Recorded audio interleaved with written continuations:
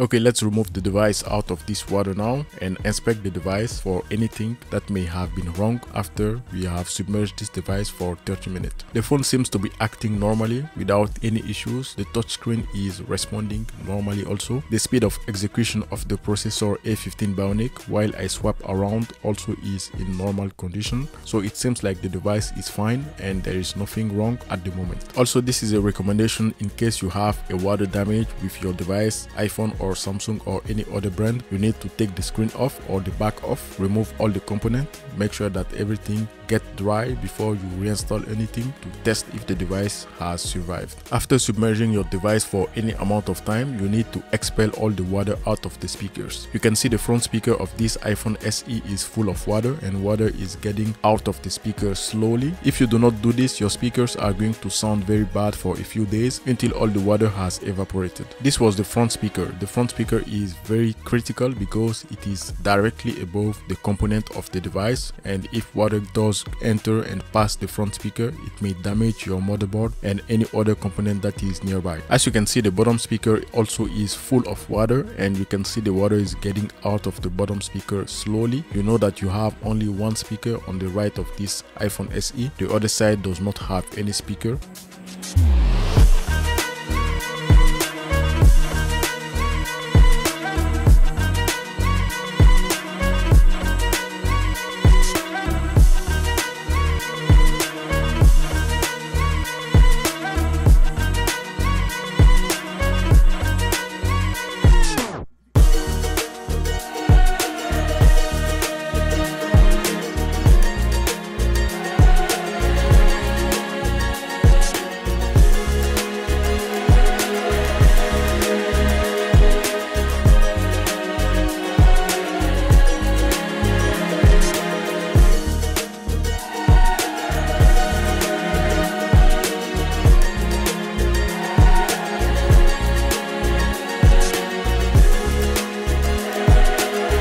This is why we have water only on one side. The iPhone SE 3rd generation after the water resistance test seemed to be fine. I took all the action in order to expel all the water out of this device in order to make sure that the device will not have any problem in the near future. Okay, just in case the device does have any issues, I'm going to have a follow-up video in order to show you what steps you need to take in order to save your device if the water resistance has failed or if the water damage has occurred. The iPhone SE 3rd generation like any other iPhone is a good device inside water but avoid all water that has chemicals as much as possible because it will destroy the double-sided tape that holds the screen and the frame together.